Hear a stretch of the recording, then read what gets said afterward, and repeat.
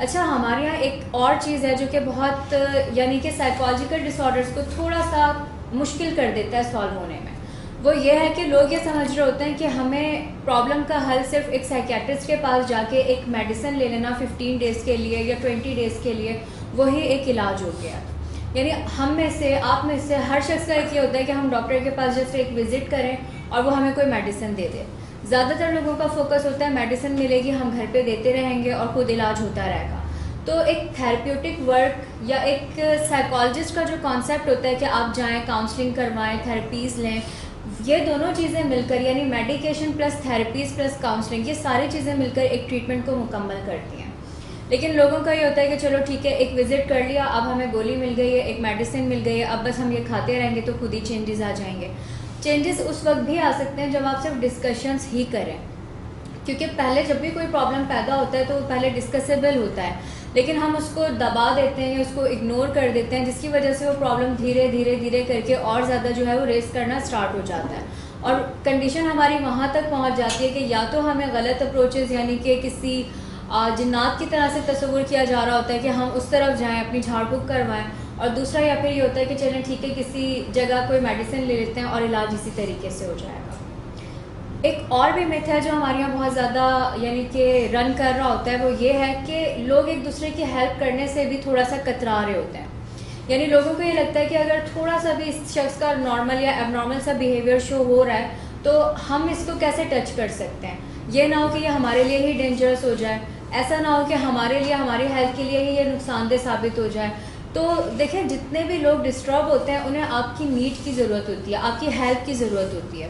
वो कभी भी ये नहीं चाह रहे होते कि आपको नुकसान पहुँचाए। आपने अभी बहुत सारे ऐसे केसेस सुने होंगे, हालिया ही जो रिसेंटली सुसाइडल अटैम्प्ट हुए हैं। तो कभी भी कोई सुसाइड अटैम्प्ट करने वाला शख्स ये नहीं चाहता कि वो सुसाइड अटैम्प्ट कर ले।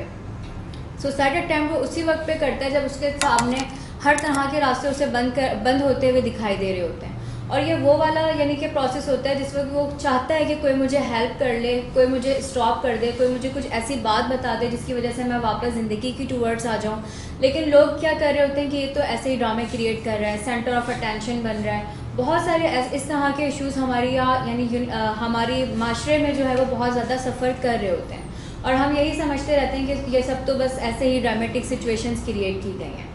तो ये कुछ मिथ्स हैं जो हमें स्टॉप करते हैं, हमें साइकोलॉजिकल ट्रीटमेंट में नहीं आने दे रहे होते, क्योंकि देखें, हमारा माइंड और हमारी बॉडी जो हमारा दिमाग सोचता है या हमारे माइंड के अंदर जो भी बिलीव सिस्टम चल रहे होते हैं, वही सारी चीज़ें हमारी बॉडी जो है वो उसको रिसीव करती है और वही एक्शंस में आती है। अगर हमारे जहनों में यही सारी चीज़ें कि नफसियाती डिसऑर्डर तो नहीं, बल्कि जिन्नात ही मौजूद हैं तो आप हमेशा वहीं पे स्टक रहेंगे। अगर आपको ये लगता है कि एक शख्स जो बहुत अच्छा दिख रहा है और उसके साथ कोई प्रॉब्लम नहीं हो सकता तो वो कभी भी डिस्कस करने के लिए नहीं आएगा। हालाँकि उसकी ज़िंदगी में भी प्रॉब्लम्स होते हैं और उसको चाहिए कि वो डिस्कस करे उन्हें। ये जो आपने जिन्नात की बात की, इससे रिलेटेड मेरी, यानी अपनी फैमिली में वाक़ हुआ कि मेरे एक कज़न थे जो, जिनकी उम्र पाँच साल थी। हमारे माशरे में ये भी एक गलत फहमी है कि ये जो कोई जहनी सेहत के मसाइल हैं, ये कोई बड़ों को होने हैं, या कुछ ज़िम्मेदार जिनके ऊपर कोई बड़ी जिम्मेदारियाँ हैं, उनको होने हैं। जैसे जिसमानी बीमारियाँ एक साल के बच्चे को भी हो जाती हैं, दो साल के बच्चे को भी हो जाती हैं, और पचास, साठ साल के बड़े बंदे को, पच्चीस साल के शख्स को भी होती है। वैसे ही जहनी सेहत के मसाइल भी एक, दो, चार, पाँच साल के बच्चों को भी हो सकते हैं और बड़ों को भी हो सकते हैं। तो मेरे एक कज़न थे, जिनकी उम्र सिर्फ़ पाँच साल थी। हम एक इवेंट में था, हमारी फैमिली में एक वेडिंग थी, हम उसमें शरीक हुए।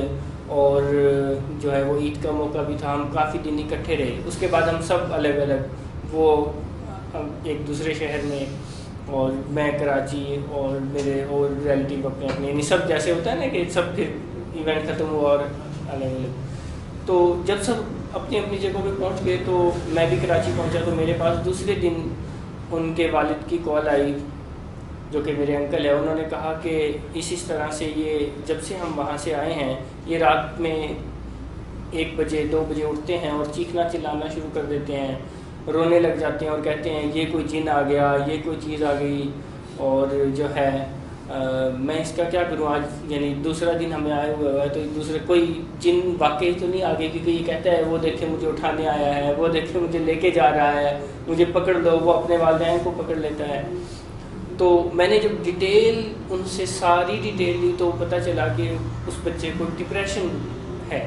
और सिर्फ़ एक हफ़्ता उस बच्चे को ओरल फार्म में एंटी डिप्रेशन दी गई।